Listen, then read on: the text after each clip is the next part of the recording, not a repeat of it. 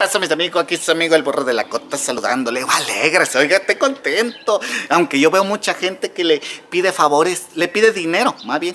A San Judas Tadeo, a San Judas, ay que, ay que a San Judas, ay que, ay San Judas, dame dinero. Hasta su imagen tiene dinero. Ay, qué pendeja la gente, güey. Mira, si Judas vendió a Jesús, ¿Tú crees que tan pendejo te va a apretar dinero a ti? Si el maestro lo vendió a ti, a ti te va a coger, cabrón. Nos vemos.